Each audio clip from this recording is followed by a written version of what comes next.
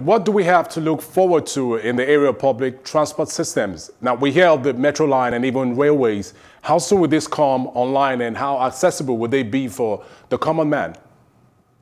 Of course, everything that we are going to do is going to be accessible by uh, uh, commoners. Like I have always said, Okada, Keke, and all such uh, stuff, they do not belong to the greater Lagos uh, journey that, on which uh, we have embarked. They do not belong to the smart city that we are trying to build. Like I said, there are hundreds of buses at the ports here in Lagos that we are trying to clear. We'll clear them.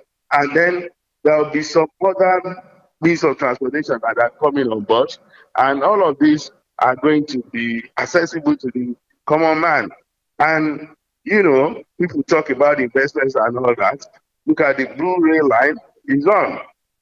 The work is on the plan of the government is that by this time next year, it will be run. And the, the, work is going on there. It's going to be running from uh, Marina to Okokomaiko to Maitu, where the masses of our people stay.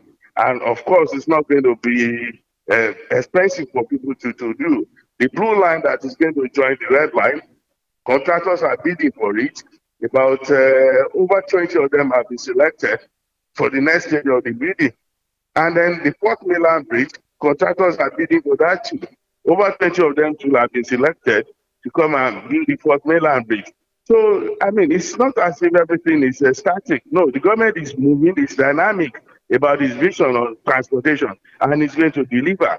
But the Okada thing, what has happened is that you cannot say because these are long-term projects that will be of a great benefit to the people, and then you have not carried them out, then you allow Okada to have this license plate attitude and be running roughshod over the whole place and turning this, the, the Lagos into an illegal community. No.